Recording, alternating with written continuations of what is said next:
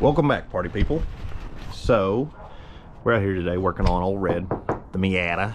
Um, we're doing the diff fluid, and I'm going to use a special tool today, so I figured I'd break it down to you and tell you what it is. This is the Swan Lake Garden Tools Extraction and Fill Pump.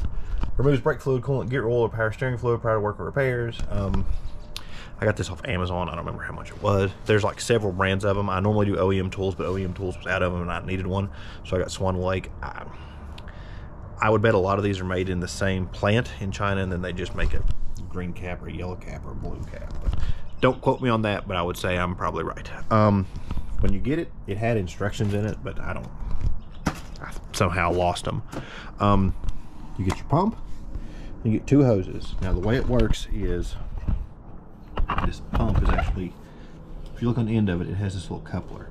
So you push it back like that. There's two hoses. Notice there's a one size and the next size. So you put the end that doesn't have the rubber tip in, you'll feel it bottom out and let go. And then this has teeth and that doesn't let go. Now if you need to make it longer, that's when you go to this piece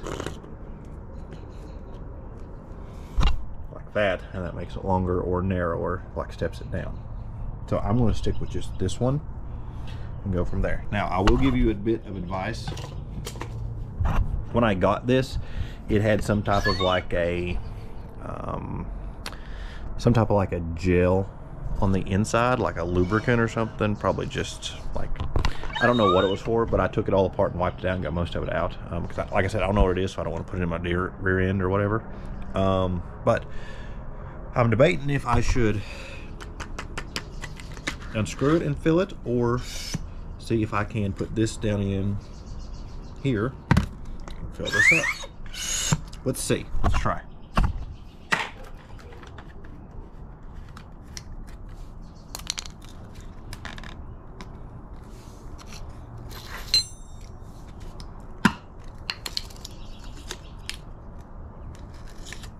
Okay, so now let's see if we can put this in here and see if it will. Maybe. Oh, look at that. I think it would have been easier to pour it in because this is thick. The thing is, I don't know how much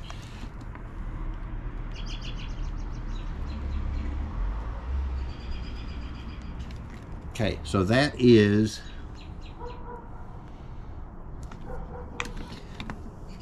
I think the Miata takes like 0.7 quarts.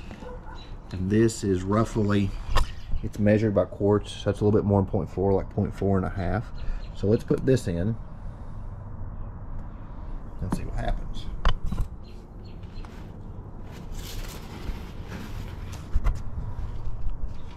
So now we've got our injection pump loaded, our big syringe here, right there. So now we will just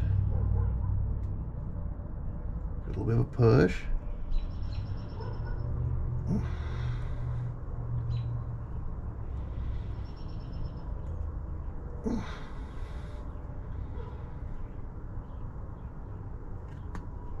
It gets easier as you go. Okay, all right. Now when you're done, just this silver thing, pull it back, pull it out. What I'm gonna do is I'm gonna let this sit overnight and drain. Let this sit overnight and drain.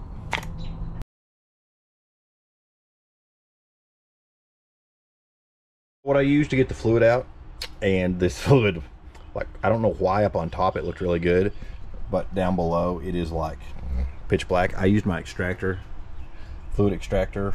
I use this to fill the diff up with. I put the small straw down in there and I pulled up till it would not pull up anymore. So I'm going to dump this out, try it again.